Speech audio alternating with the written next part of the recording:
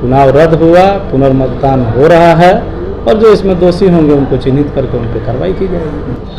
Sir Dhangai में booth संख्या छः को कैंसिल करके पुनर्मतदान की वहाँ अनुशंसा आखिर क्यों?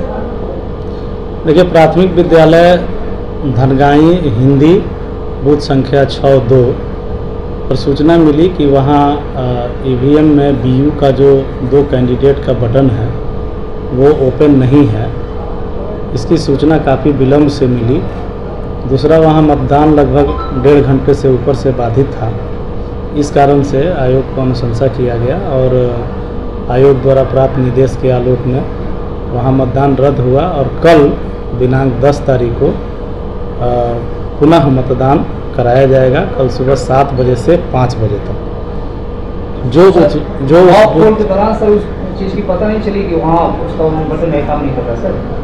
अब ये तो मॉक पोल हुआ है, ये हम लोग इसकी जाँच कर रहे हैं। फ़िलहाल जो चीज़ें हैं आपके सामने हैं कि बटन नहीं खुला हुआ था, प्रत्याशी द्वारा बताया गया, वहाँ जाँच किया गया, पाया गया कि सही में बटन नहीं खुला है। तो इसकी अनुशंसा की गई, चुनाव रद्द हुआ, पुनर्मतदान हो रहा है, और जो इसमें दोषी होंगे, उनको चिन्हित कर